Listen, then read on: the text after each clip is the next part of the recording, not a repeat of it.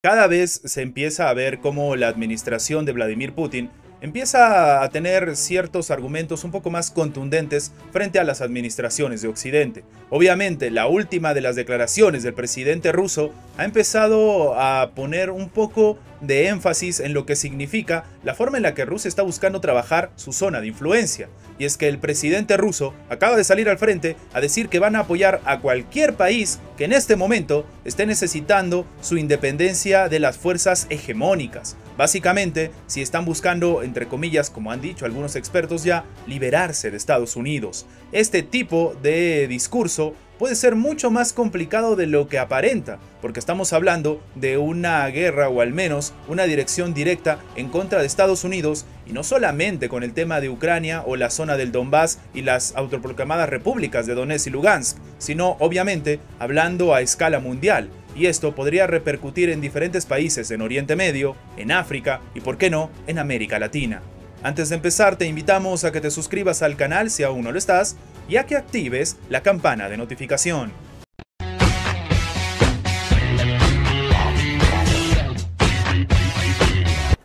El presidente ruso Vladimir Putin acaba de salir al frente pues a decir que estaba sumamente agradecido con los países que en todo momento se mantuvieron firmes en su apoyo a Rusia. No solamente eso, ha dicho que existen países que están siendo reprimidos por eh, la fuerza hegemónica. Al hablar de fuerza hegemónica obviamente se refiere a Estados Unidos y sus aliados. En este sentido, está diciendo que si solicitan la ayuda de Rusia, ellos van a ir corriendo a apoyar a estos países. Claro, Ahora el debate que se está empezando a tener dentro de Occidente es ver eh, realmente quiénes son países y quiénes no. Recordemos que Rusia reconoció en este momento la República de Donetsk y Lugansk. Claro, en ese escenario, después, tanto Donetsk como Lugansk de la zona del Donbass le solicitaron el apoyo militar a la administración de Vladimir Putin, que decidió al final del día hacer una acción militar sobre territorio ucraniano, llegando hasta Kiev. En este sentido, obviamente, muchos ya empiezan a temer lo peor con respecto a los países que están siendo, según se dice, controlados aparentemente por Occidente. Pero estamos ya eh, bailando en la delgada línea entre los países que han sido reconocidos como tal y los países que han sido no reconocidos o solamente reconocidos parcialmente por la comunidad internacional. Tenemos obviamente el caso de lo que le está sucediendo por ejemplo a Serbia con Kosovo. Claro, en este sentido, si alguno de estos países termina pidiendo el apoyo de Rusia, obviamente estaríamos en un conflicto que ya no solamente se desarrollaría en territorio ucraniano. En este sentido, entonces, lo que está buscando hacer la administración de Vladimir Putin sería un claro ejemplo de presión sobre Occidente y que se entienda que las medidas que se han tomado sobre Ucrania no van a ser solamente aplicadas en la administración de Volodymyr Zelensky, sino en las demás que en este punto empiecen a aparecer dentro de la comunidad internacional. Así el panorama se habla de que se tiene la asignatura pendiente, por ejemplo, de los países de Asia. Esto sin tomar en cuenta que cada vez la zona de influencia de Rusia, hablando de Oriente Medio y sobre todo también de la región de África, es cada vez más contundente. En este escenario en específico, muchos ya están empezando a dudar si de repente las situaciones para buscar más aliados o la conformación de los bloques que cada vez ha sido mucho más contundente. Tenemos el tema de los BRICS y cómo una lluvia de países, sobre todo de Asia y justamente de África, han decidido unirse a las administraciones de Rusia y China. Mucho se habla de que solo de materia económica, pero obviamente si le va mal a tu aliado económico, pues no sería lo ideal unirte a los BRICS, lo cual demostraría que muchos están apostando a que Rusia y China incluso saldrían triunfantes ante un eventual conflicto.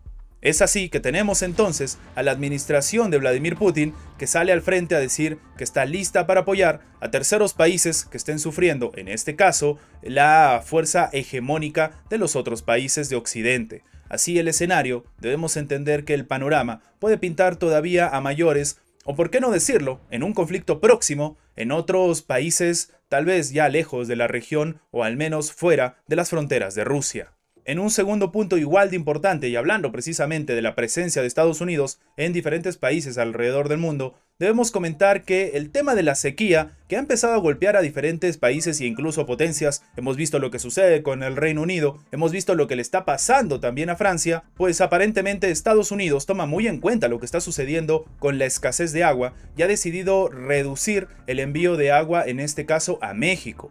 La situación es bastante complicada porque se da un incumplimiento de contrato. Y esto es bastante curioso porque es una de las principales fuentes por las cuales, por ejemplo, Alemania ha estado acusando a la administración de Vladimir Putin a la hora de hablar de la falta del envío del gas. Aunque todos sabemos lo que sucedió con la turbina que fue retenida en, en este caso, la administración de Justin Trudeau en Canadá y hasta la fecha no ha sido entregada. Así la situación, el río de Colorado acaba de reducirse entonces proveniente de él el suministro de agua a México. En este caso, muchos expertos dicen que esto no es necesariamente una suerte de represalia contra la administración de Andrés Manuel López Obrador, pero sí que sería alguna medida que llama peculiarmente la atención porque obviamente Estados Unidos no da puntada sin hilo y también se habla de la famosa información privilegiada que se tiene dentro de las administraciones más poderosas del mundo. El hecho de que se tomen estas iniciativas cuando después se salen de la prensa a decir que no está pasando absolutamente nada, pero después el propio Departamento de Estado tome esta decisión, pues demuestra que el panorama en el mundo tiene cierta tendencia a vivir crisis que en el pasado no se han vivido. En este sentido, muchos expertos también confirman de que, a pesar de que existen países que obviamente tienen recursos ricos y, por qué no decirlo también, recursos hidráulicos, el panorama es complicado porque, eh, de hecho, la situación puede significar que no existe infraestructura en varios países, y no solamente países como los de América Latina, sino países de primer mundo, en el que se pueda tomar algún tipo de provecho de, en este caso, los recursos del agua que se tienen. Claro, una cosa es tener ya la infraestructura y estar preparados ante una eventual crisis y otra es que ésta llegue sin previo aviso y no se tenga la infraestructura suficiente para poder salir del paso.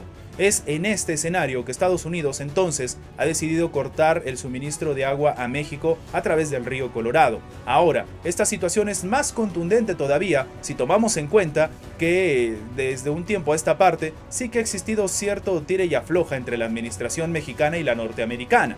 En este sentido, recordemos que incluso en un primer momento Estados Unidos estuvo barajando en imponerle hasta sanciones a México porque supuestamente tenían espías dentro de territorio mexicano, espías rusos que estaban trabajando incluso de la mano con el gobierno mexicano para sacar información de lo que sería el conflicto con Ucrania y la ayuda que estaba enviando el Estados Unidos a este. Obviamente después la situación desescaló, no se impusieron sanciones, México retó a que se presenten pruebas, las pruebas nunca se presentaron y en este sentido tenemos pues a una administración mexicana que incluso ha tenido ciertos eh, por así decirlo, encuentros con la administración de Joe Biden. Esto sin tomar en cuenta la crisis migratoria. Ahora, si tomamos como punto de arranque esta decisión por parte de Estados Unidos de manera unilateral, todavía se está esperando la respuesta por parte de la administración de Andrés Manuel López Obrador. Pero para muchos expertos esto incluso podría escalar a algo más, tomando en cuenta que fue precisamente en la administración de Andrés Manuel López Obrador en la cual se dio la captura de un narcotraficante que generó incluso encontronazos con la DEA, en un hecho que debería ser obviamente algo beneficioso para el país, pues ahora imaginémonos en algo que termina siendo un impacto directo en la propia situación de México. Ante este escenario, ¿qué opinas tú? ¿Por qué la administración de Joe Biden decide quitarle los suministros de agua a México de manera unilateral? ¿Existe algún tipo de fundamento ¿O estamos ante una tensión que se está viviendo solamente desde el lado norteamericano? ¿Esto acaso no sería contrario a lo que se decía, por ejemplo, con las decisiones del presidente mexicano de apoyar primero el sector, en este caso nacional, hablando del sector energético, que lo hace de manera unilateral? Déjanos tu opinión abajo en los comentarios. Y antes de terminar con el video, queremos agradecer a los miembros del canal que mantienen en pie este proyecto. Muchas gracias por su inmenso apoyo. Gracias por ver nuestro video. Recuerda que tu like nos ayuda mucho a seguir creciendo. Suscríbete para más contenido y nos vemos en la próxima.